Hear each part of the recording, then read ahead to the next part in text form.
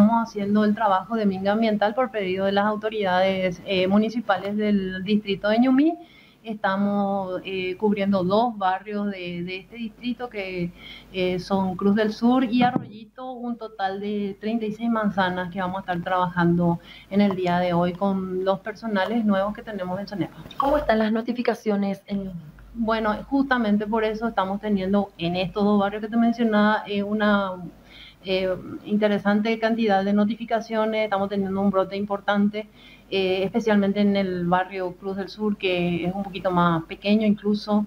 Y, bueno, a full el trabajo de CENEPA, ayer estuvimos haciendo un trabajo de levantamiento de índice pre-intervención y mañana estaríamos haciendo el trabajo de la, del mismo trabajo pero post intervención para comparar un poco los índices por decirte si hoy me sale en 5% para ver un poco si ese 5% después nuestro trabajo de minga ambiental se reduce. Al menos aquí en la ciudad de Villarrica, ¿cómo está el, el índice de infestación? ¿Cómo están trabajando también desde CENEPA? Bueno, te cuento que nosotros eh, el trabajo de LIRA, el que es eh, planeado anualmente, no lo estamos haciendo. Estamos haciendo esta otra metodología que depende mucho de, de, de, del trabajo de rastrillaje o de minga que se haga en cada barrio. Te adelanto que el barrio que vamos a estar focalizando para la semana que viene va a ser el barrio San Miguel.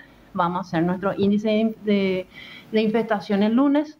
Vamos a hacer un trabajo de rastrillaje durante aproximadamente tres días, martes, miércoles y jueves en San Miguel con todas nuestras fuerzas. Y luego el viernes tendríamos eh, también el resultado de la, del levantamiento de índice post-intervención. Ahí lo que más o menos te podría dar un índice de infestación y específicamente del barrio San Miguel.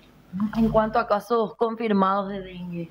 Eh, justamente estábamos viendo que en las últimas dos semanas, eh, si es que hablamos de casos positivos, eh, nosotros aquí en el servicio hemos recibido lo que es eh, Villarrica, solamente Villarrica, esos son los números que te puedo dar, 54 casos positivos, pero hay que recordar que estos son los que fueron eh, registrados, los que fueron, eh, que pasaron por serología, eso no significa que este número sea real.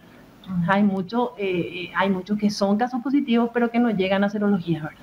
Entonces, por lo menos los números que nosotros tenemos de las últimas dos semanas, 54 casos. Es alto el nivel. Es alto, es un, es un parámetro, pero los números reales son incluso más. En cuanto altos. a casos sospechosos, también cuentan. Eh, casos sospechosos también en las últimas dos semanas eh, de lo que es Villarrica y te hablo de los ocho barrios más eh, densamente poblados y también de las compañías, 153 notificaciones. Seguimos con las mismas recomendaciones entonces. Por supuesto, eh, las recomendaciones de siempre, nosotros no nos vamos a cansar de, de insistir con la gente que se eliminen los criaderos.